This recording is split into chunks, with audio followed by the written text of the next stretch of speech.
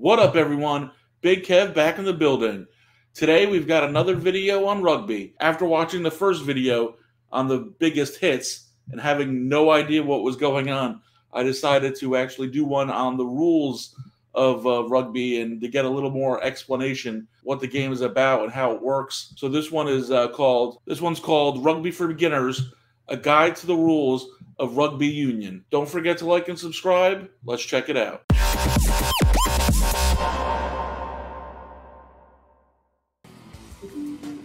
Rugby is one of England's most popular sports and is played by people of all ages, shapes and sizes, male and female. This animation teaches you about the main laws of rugby so you can have more fun watching or playing this great game. You play rugby in a jersey, shorts and boots with studs and you wear a mouth guard to protect your teeth. The ball is an oval shape it's crazy that really their only form of protection is a mouth guard. No like pads or helmets or any other kind of uh, protective gear. And looks a bit like an egg. Because rugby originated in England, there are a lot of English expressions. There are two versions of rugby, rugby union okay. and rugby league. This film is about rugby union, the most popular version of rugby around the world. The rugby pitch is about the same size as a football pitch. On the pitch, there are a number of lines. We start from the halfway line. From this line, the game is started or restarted after a score. Next is the 10 metre line. After the kick-off, the ball must cross this line. Then there is the 22 metre line. Next is the try line. Behind this line, you can score a try by touching the ball down. On the try line are the rugby posts, two vertical posts and a crossbar. The last line is the dead ball line and marks the end of the field.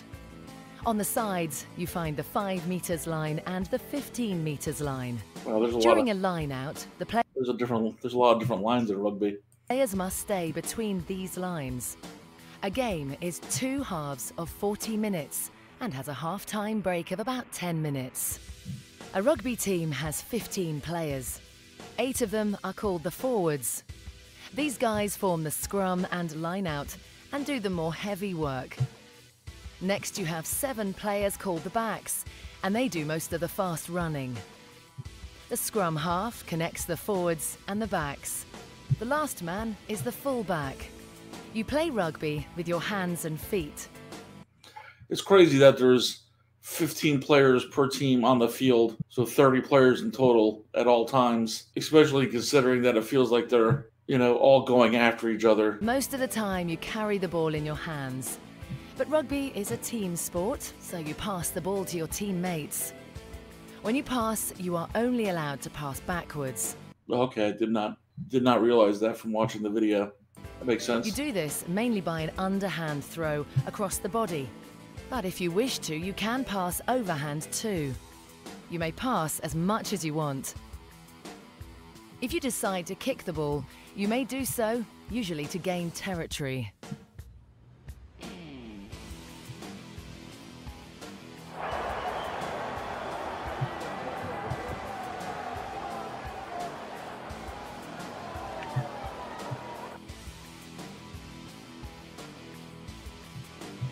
There are several ways to score points. The most important way is to score a try. You score a try when you place the ball on the ground, on or behind the try line of your opposition. The result is five points. Because you scored a try, your team may also attempt to kick the ball from the ground, but it must carry between the posts and above the crossbar. This is called a conversion and awards your team an extra two points so together, you score seven points. So very close to American football, where a touchdown would be six and a extra point would be one. Should the referee award you a penalty kick, your team can choose to restart the game, kick for a line out, or kick the ball between the posts. If you kick between the posts and score, you get three points.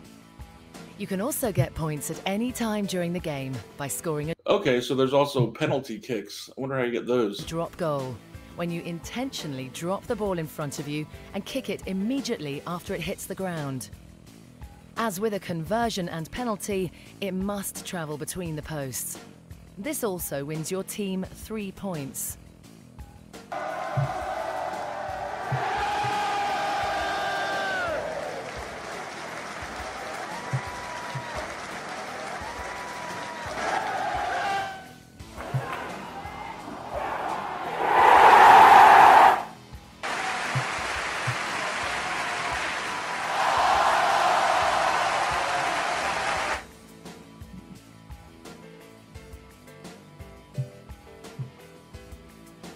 Suppose you throw the ball forwards or you drop the ball and it bounces forward. In both cases, the referee will decide that a scrum must be formed. So a scrum is a re- So basically, you can't have any forward passes, and even if you drop the ball and it goes forward, then play a stop. Now, if you drop it and it goes backwards, that would be allowed. I'm assuming. start after a foul where the ball travels forward from the hand. The forwards of both teams set in a specific formation and set against each other, like you can see in this view from above. Next, the scrum half will roll the ball straight into the middle of the scrum, and both teams are allowed to contest for the ball by pushing and using their feet after the ball has entered the scrum to move the ball backwards. While the ball is in the scrum, you are not allowed to touch it with your hands. When the ball Okay. comes out of the scrum, it is usually the scrum half who will pass it to one of the waiting players, and the next attack will start. That's wild. I wonder how they decided, like, who invented that in the first place. That's a that's a crazy method for determining who gets the who gets the ball. I mean, uh, pretty inventive though.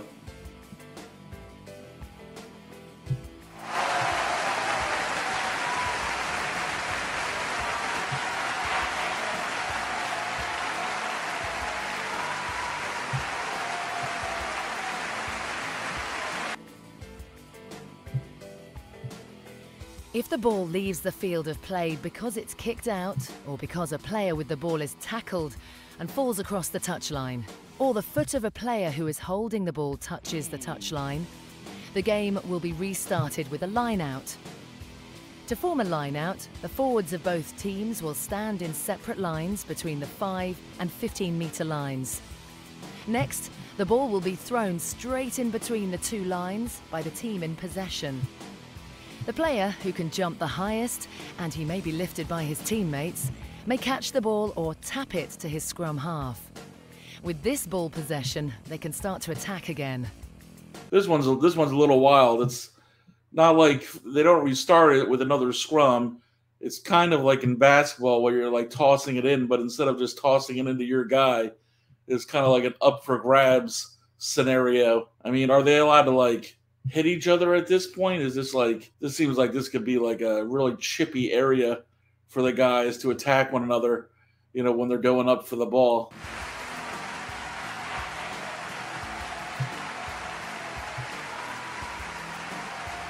Well, it seems like they didn't relatively uh, contact free there. The unique thing about rugby is that you can stop players by tackling, but can only tackle a player who is in possession of the ball. You're only allowed to use your hands, arms, and body. You can grab the man with the ball everywhere except his neck and head. You are not allowed to kick him or tackle him while he's in the air. If you do, the referee will send you off the field immediately by issuing a yellow or red card. The most common Okay, so they have yellow and red cards like soccer. way to tackle is using the shoulder and arms, targeting an opposition player below the waist so he falls to the ground.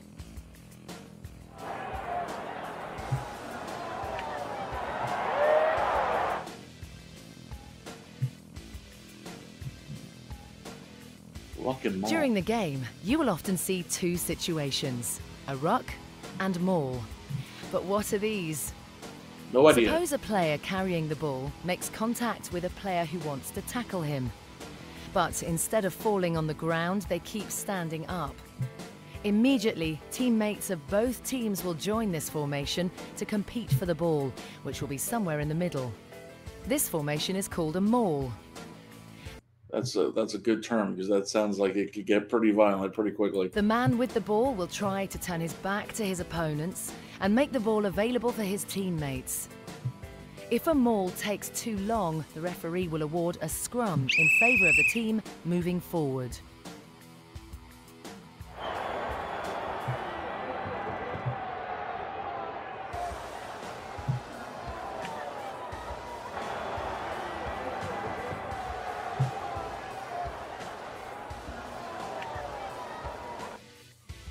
A ruck is formed after the man with the ball is tackled and the players fall on the ground. During this situation, two very important rules come into play. The man who made the tackle must let go of the tackled player, and the man who is tackled must release the ball immediately. Players of both teams will bind as a unit with each other over the ball group and compete to win the ball with their feet and pushing back the opposing players. Do they do that while the guy is still underneath? If they are they competing their with their feet while that dude is still at their feet, getting pummeled the whole time, or is he allowed to like escape first?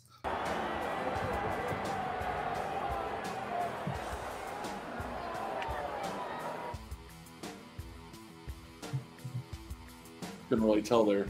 There are several ways to be offside. One of the most common ways is during a maul when players are competing to get possession of the ball or to stop the maul being driven towards the try line. The offside line starts at the heel of the foot of the last person in the maul and runs across the field from touchline to touchline. No one can enter the maul unless they do so from behind that player's foot. Though rugby is a physical and sometimes tough sport, a rugby player always respects his opponent and the referee. Whatever the referee decides, you will never contest their decision or risk being penalised. After every game, you pay your respects to your opponents and the referee by applauding them when they leave the field. Respect and sportsmanship are two of the most important values of rugby union. Hopefully, with this explanation, you will enjoy watching rugby even more. All right, so uh, this video definitely helped explain some of the basics for sure. Like I had no idea what the rules were. I didn't know how you scored. I didn't know what the point system was. I didn't know what any of the terms were. So this de- this definitely gave me a very good baseline to go forward with. I'm definitely more of a visual learner, so I definitely need to see some more examples of the rucks and mauls and the scrums to really get more of a feel for it. So I'm going to have to like look for some other videos uh, where they're actually more than like a three second clip of them doing it to actually get a better feel of like how it all gels and works together, especially with some like the the um, the offsides and stuff like that. I mean, you got to really see that stuff a bunch of times before it really starts to sink in. At least, at least for me. Also, they said this is one of the two main forms of rugby: rugby union and then there was another one called Rugby League. I don't know how popular Rugby League is. They said this one was the more popular version or uh, how different uh, they are. So if anyone knows if I should also be looking at Rugby League or just stick to the rules of Rugby Union, uh, that'd be great. Uh, and then, uh, yeah, so until next time, have a good one.